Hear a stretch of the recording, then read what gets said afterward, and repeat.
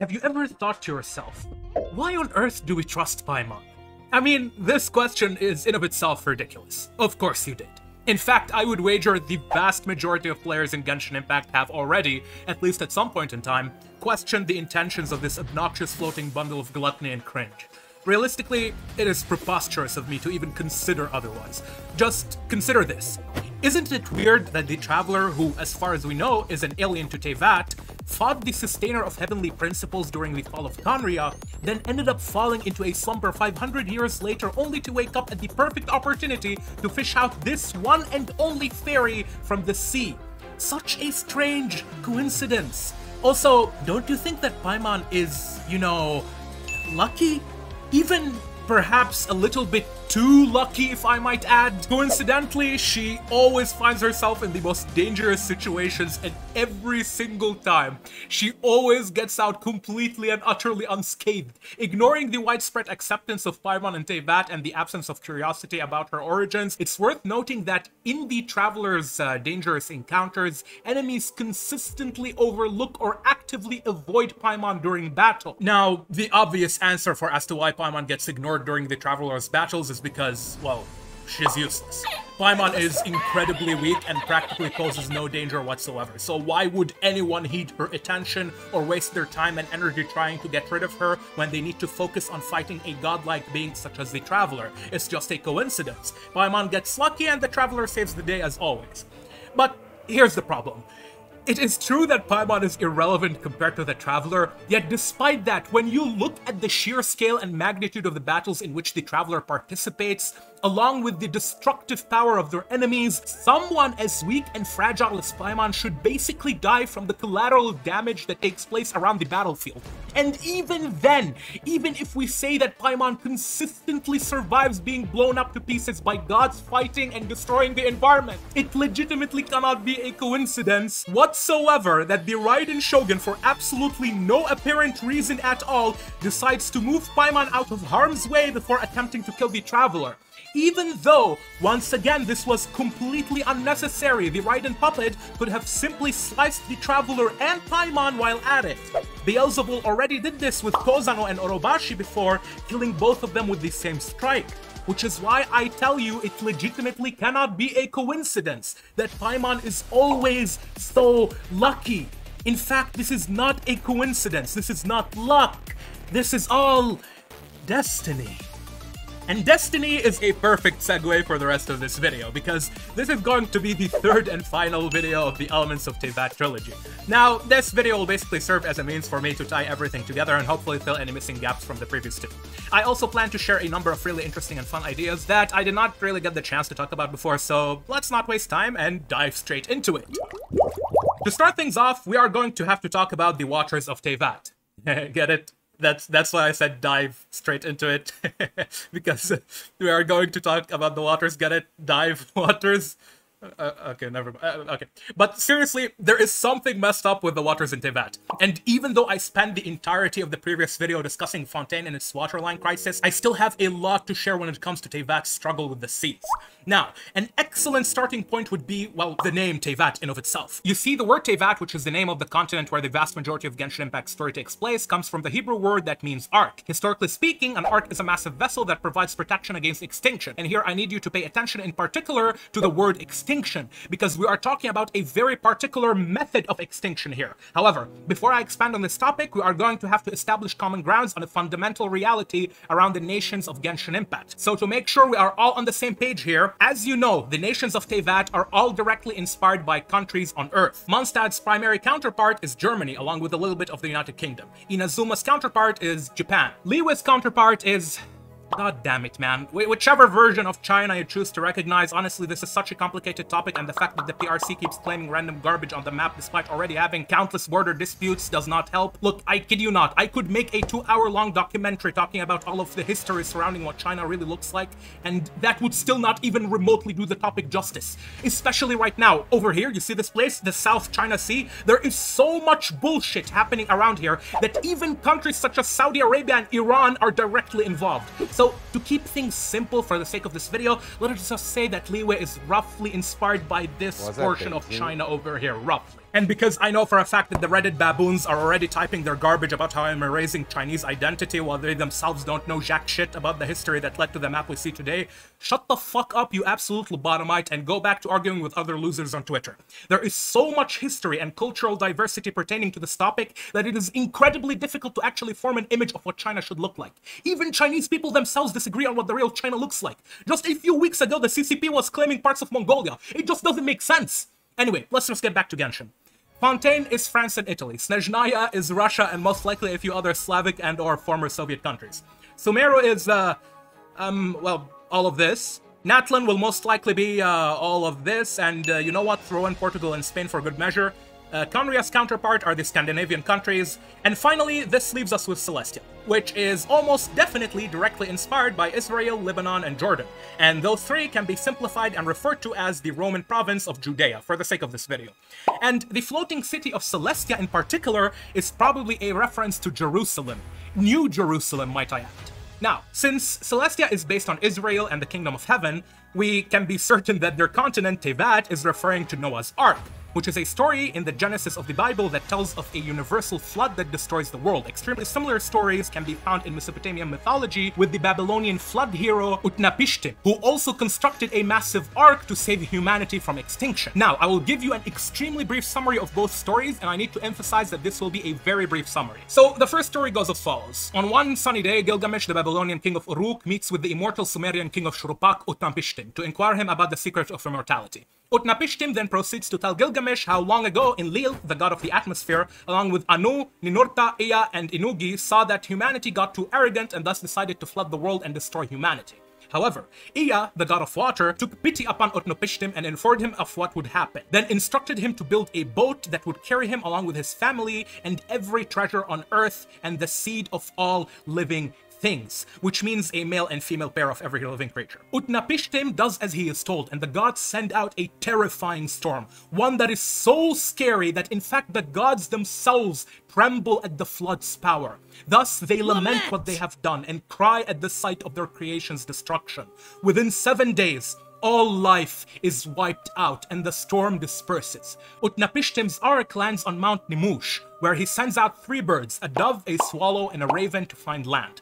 The dove and the swallow return, indicating that they found nowhere to perch. But the raven does not, which confirms to Utnapishtim that there is a safe place to move forward. Later on, Enlil, who has severely regretted what he had done, looks upon the flooded earth and to his surprise he finds out that Utnapishtim and his family, along with the craftsmen of the ark, have survived. So Enlil confronts Utnapishtim and he's like, sorry bro, MB. To which Utnapishtim replies, nah fam, we cool, trust and then offers him a sacrifice. So Enlil consults Ea and then decides to make Utnapishtim immortal, and decides that he would never flood the earth again. Moving on to the biblical Genesis tale. Approximately 10 generations after Adam and Eve, God looks upon the earth and sees the wickedness of man had run rampant upon the lands which he had created, and that every imagination of their thoughts was full of corruption and evil. Angered and saddened by what had become of his creation, God decides to eradicate humans, stating, I will destroy man whom I have created from the face of the earth, both man and beast and the creeping things and the fowls of the air, for it repenteth me that I have made them. God, however, decides to inform Noah of what he will do and instructs him to build a great ship to house a pair of every living being on earth. Noah does as he is told, and within a span of 40 days, a great flood destroys the world, and only Noah and his wife, along with their three sons and their wives, survive. Eventually, there are clans on Mount Ararat, the tallest peak in Turkey. Noah then sends a dove to look for land, and when they find it, the survivors celebrate by offering a sacrifice to God. After witnessing the aftermath, God feels relieved for Noah's survival, but also feels sorry for what he had done. So he tells Noah, sorry bro, MB. To which Noah replies, nah fam, we cool, trust. So God establishes a covenant with Noah, promising him that his bloodline will repopulate the earth and that God will never flood it again. So as you can see, both stories of Noah and Utnapishtim are extremely similar with minor variations. They can both be boiled down to humanity becomes corrupt, the supreme divinity decides to destroy humanity with a great flood, a few survivors chosen by divinity create an ark to preserve life, a great mountain and birds, mainly doves and ravens are involved, and divinity regrets what they had done and decides to reward the survivors and swear to never flood the world again. And what's crazy is that these flooding myths are not exclusive to Mesopotamia and the Abrahamic religions. They can be found all over the world, and the core components I just mentioned are usually always conserved in each myth, which is fascinating. But once again, for the sake of this video, because we are talking about Genshin's core universe, we are primarily interested in Gnosticism, Christianity, Mesopotamian mythology, along with the legend of Saha, which I discussed in my two previous videos on the topic, and a little bit of Chinese philosophy, but I'll talk about that in a different video. And here I need to correct an assumption which I've been trying to build up towards during the two previous videos. You see, I initially took the translation of Teyvat to the Hebrew word ark literally. In fact, I took it too literally. Now, take everything I just told you into consideration, and then remember that everything outside of Teyvat is known as the Dark Sea. And I ended up with the incorrect assumption that Teyvat's structure is that of an ark. Not a continent on a planet, but quite legitimately a ship floating on the Sea of Quanta. Which, in this case, would be the abyss of Genshin Impact. Think about it as something extremely similar to the Xianzhou Luofu from Honkai Star Rail, just a giant ship that carries an entire world inside it. So, um, after all that, I'm sure that you can imagine my reaction when I met Neuvillette and he told me this. There used to be a special sea on the surface of this planet. The nature of its seawater was rather different from that of the sea we know today. There used to be a special sea on the surface of this planet. On the surface of this planet. Of this planet. As you can see, Neuvillette confirms a crucial piece of information. The continent of Teyvat sits on a planet, and make no mistake, this is a very good confirmation, because it gives us a definitive and solid idea of what to expect from the world of Genshin Impact, since now we know that it is a planet. And that obviously does not disprove any of the things I discussed before in the previous two videos. The only downside is that it confirms my theory on Teyvat being a literal arc is incorrect, which, like, it doesn't matter. I never talked about it before, I was going to discuss it in this video, but we now know that Teyvat is a planet, so yeah, whatever. In fact, I like the confirmation of the planet structure because that opens up the possibilities for many more interesting theories and ideas in the future.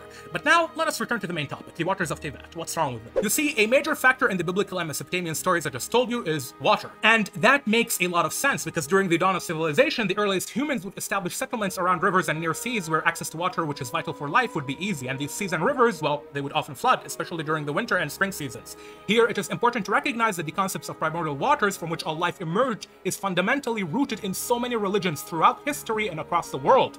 And if waters have the power to be the source of life and its sustenance, then it stands to reason that waters also have the power to end said life. You can see this demonstrated all over Teyvat, with so many of its ancient past buried deep beneath the oceans and seas.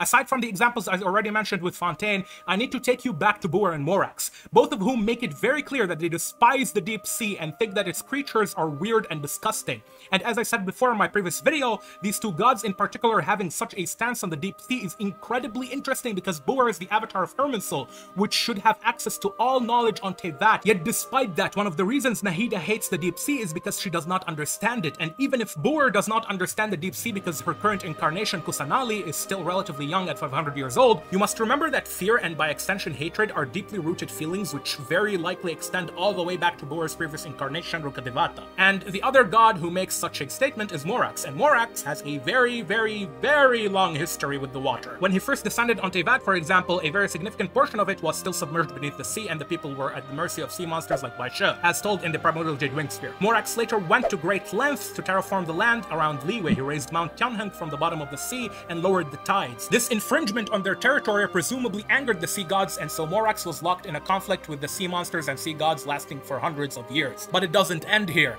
The Guili Assembly, Liyue's greatest civilization established by the combined forces of Haagentus, Morax, and Marchosius, was later destroyed by a massive flood. Are you starting to see the significance of Teyvat's struggle with water? But obviously, there is a lot more to it. Remember that the traveler fishes Paimon out of the water when they found her, and Paimon, like all the other gods on Teyvat, is named after one of the 72 demons of the Ars Goetia, whom God subjugated to the king of Israel, Solomon the son of David. And Paimon in particular is one hell of a name to pick for her. Get it? One hell Paimon Anyway, you know how Paimon has this infamous reputation amongst the player base for being one of the worst written characters in Genshin and an incredibly obnoxious character who actively ruins the story every time she opens her mouth? Well, I think the developers made her this way on purpose. You see, the demon known as King Paimon is described as a very beautiful young man with an effeminate face and an almost androgynous look to his features, wearing a crown with royal garbs of black and white riding a camel. He is incredibly loud and speaks in an extremely bombastic and arrogant and obnoxious tone. Pretty much exactly like our Paimon and Genshin. However, now for the spicy part. King Paimon is the closest devil to Lucifer, and one of the strongest of the 72 demons. He has so many abilities, but the ones significant to this video include his ability to fly, grant all kinds of wishes, reanimate the dead, and summon objects, and most importantly, remain underwater indefinitely. Remember this, I'll come back to it later. I want to quickly shift your attention to Buer and Marchosius, because they likely tell us a lot about Paimon. While cleansing the forbidden knowledge which Amun brought to the world, which by the way takes the form of a black liquid, Buer exhausted her strength and shrunk into a young girl. Later, during the Cataclysm, the exact same thing happened, and she ended up shrinking again into the form that resembles Nahida today, after which Rukkhadevata cut out the purest twig from the Irminsul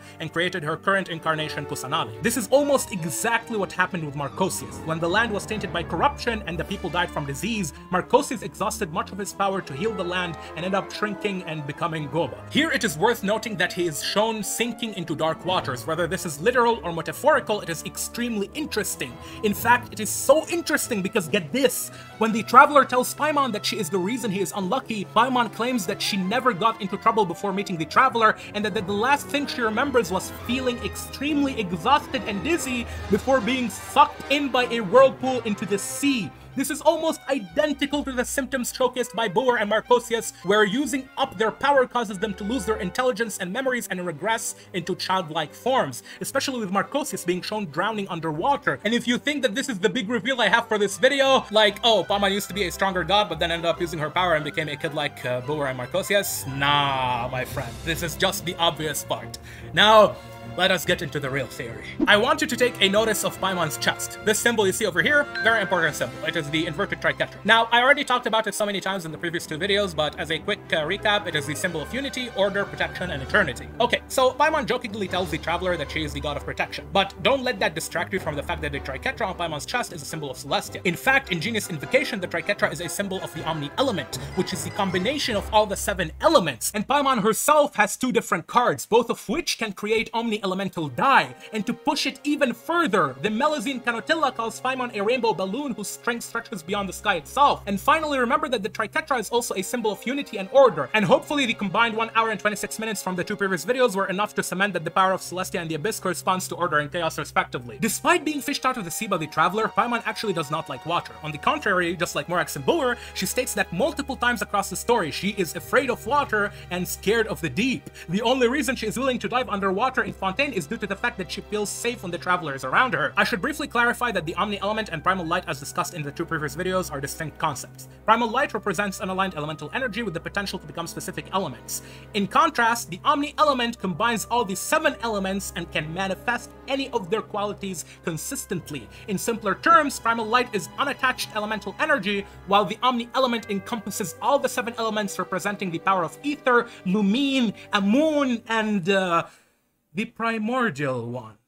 Speaking of the Primordial One, we know that the power of the Primordial One is akin to that of the Imaginary Force, which stems from Honkai Impact's Imaginary Tree, and the Imaginary Tree is locked in an eternal battle with the Sea of Quanta, which seeks to flood, that's right, flood the tree. The Sea of Quanta possesses its own will akin to the Abyss, which René de Petrichor from Fontaine mentions in his research. In a previous video, I proposed a theory that Daughter's actions in Khaenri'ah involved extracting souls from the will of the Abyss and granting them physical bodies in the human realm. This idea finds support in Elinas's account of being a formless entity drifting in the abyssal darkness before Daughter found him. The choice of the word drift implies the movement through a fluid, and since the deep sea in Genshin Impact is closely linked to the Abyss, it suggests that the Abyss may essentially be a Sea of Quanta, or at least inspired by it, housing certain souls like Durin and Elinas.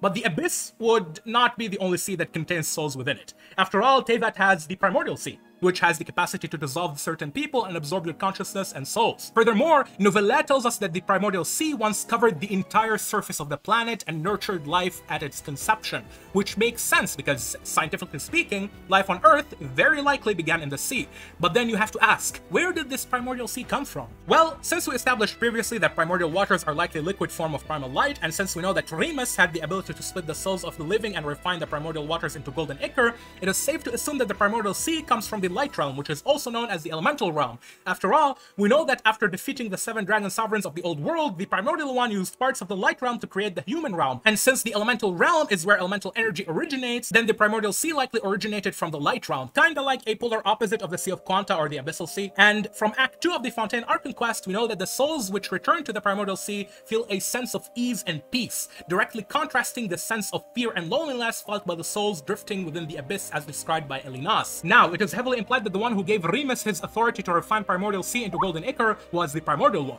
who also happens to be the one that created Teyvat. If you read the Teyvat Genesis myth as recorded in Before Sun and Moon, the Teyvat's creation myth is extremely similar to the biblical flood of Noah, with doves, a battle that lasts for 40 years, which in Noah's case is a flood that lasts for 40 days, and the opening of the Ark, which in this case would be the creation of Teyvat, which once again means Ark. Before Sun and Moon also states that the primordial one might have been called Phanes. It looked androgynous and had wings and a crown. And, well, let's be real here. I think everyone knows that the depiction of Phanes in both Greek mythology and Genshin is extremely similar to that of Paimon. I mean, come on, Paimon is full of celestial motifs in her design, and she has a crown, has the symbol of the Omni element on her chest, indicating that she controls the seven elements, and the starry cape on her back heavily resembles a wing. At least half a pair of wings, perhaps the other one was broken. Also, this early official art of Paimon shows her holding a staff akin to that of the Greek Phanes, so, uh, Paimon is the primordial one, right?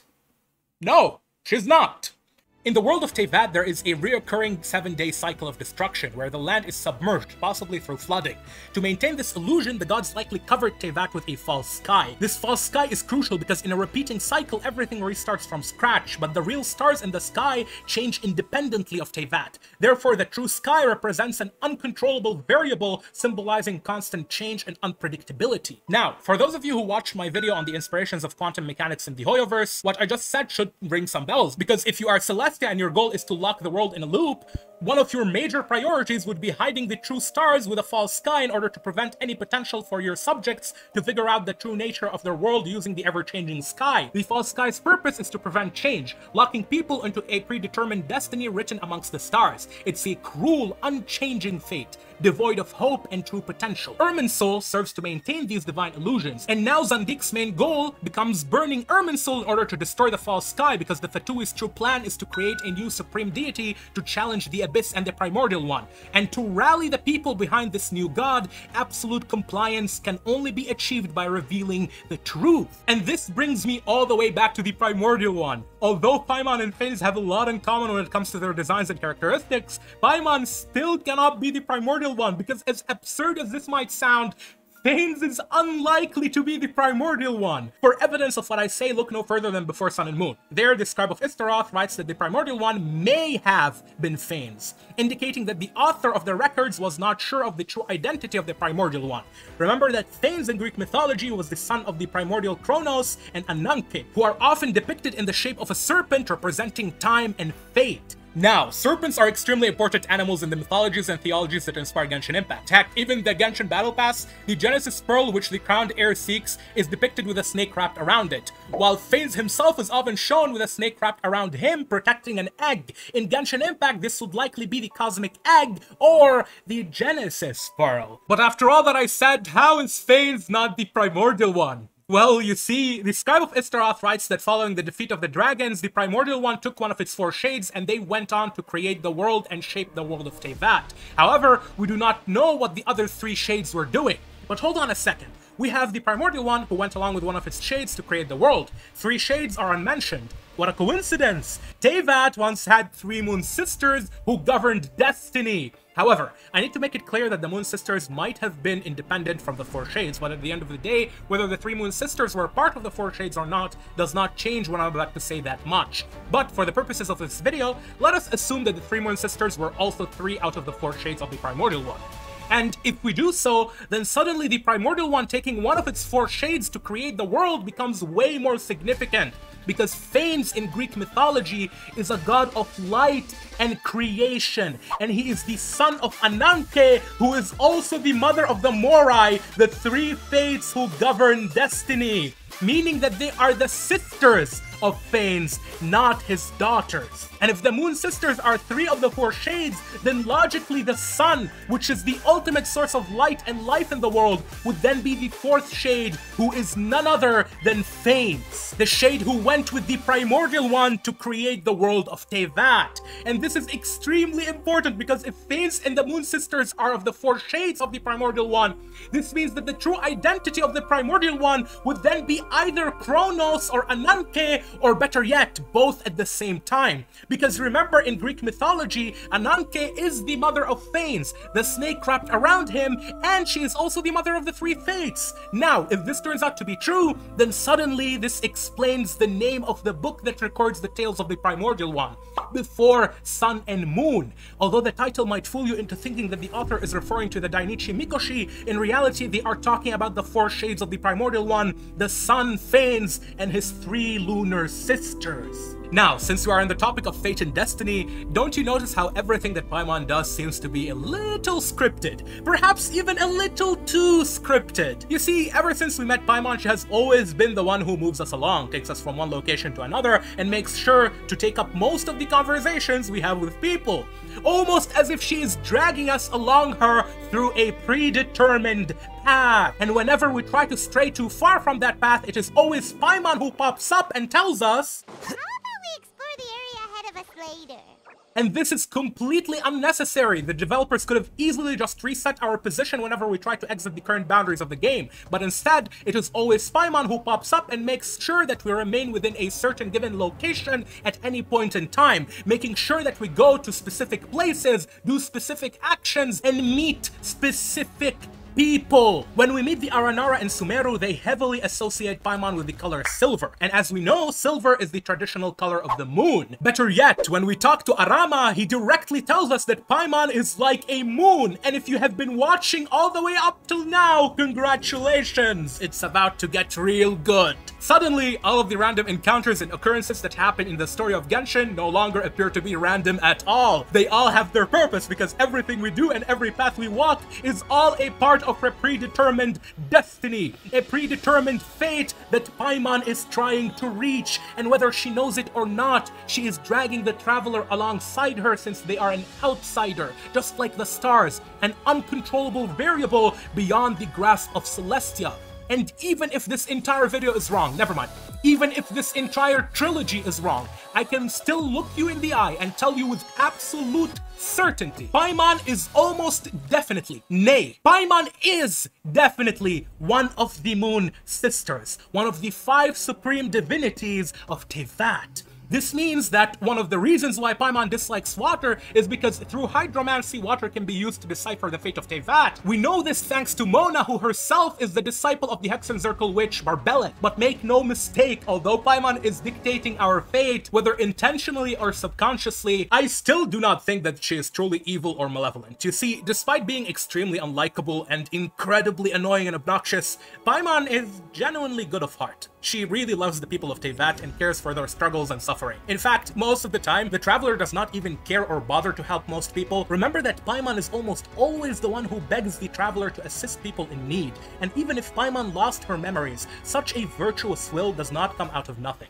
It is something that is ingrained within one's fundamental nature. So yes, Paimon is almost definitely a good person. But where does this leave us? Okay, I don't want to waste your time. I think most of you already realize that the Kingdom of Khaenri'ah is heavily influenced by a story by Richard Wagner where a dwarf named Alberich steals a golden treasure from the three Rhine Maidens and fashions it into a great magical ring. Do keep in mind that the House of Alberich is Kaeya's family and that the last King of Khaenri'ah was an Alberich himself. Hence, the three Rhine Maidens most likely refer to the Moon Sisters, which by the way could mean that Rhinedottir is a Seelie since the Seelies worship the Moon Sisters. But anyway, back to the main point. If we combine all of the details I discussed in this video, we can create a very rudimentary outline of what happened to Paimon. First, we know that Paimon is a good god. She is very likely one of the Moon Sisters, and the Moon Sisters are also likely to be three out of the four shades. So we have Paimon, Istaroth, Phanes, a third unknown Moon Sister, and the Primordial one. This gives us five supreme divinities in Celestia, and here I want to redirect your attention to the biblical flood stories of Noah and Utnapishtim. And remember that in the Mesopotamian myth of Utnapishtim, there were five who decided to destroy the world. Enlil, Anu, Ninurta, Ennugi, and Ea. But one of those five gods, Ea, felt pity for the humans and decided to warn Utnapishtim of the ensuing calamity. So if we translate that into Genshin, the world of Teyvat is locked into the seven-day cycle of destruction. We have five supreme divinities. Those would be the primordial one and its four shades. So at some point in time, likely before the fall of the Moon Sisters, one of the gods, Paimon, took pity upon humanity and felt regret for what the gods will do. Now we have all the components of a biblical flood. We've got a large body of water, which is either the abyss or the primordial sea. We have an angry divinity that seeks to punish the arrogations of mankind. We have an ark, Teyvat, but we are still missing one vital component to our story. The Flood Hero.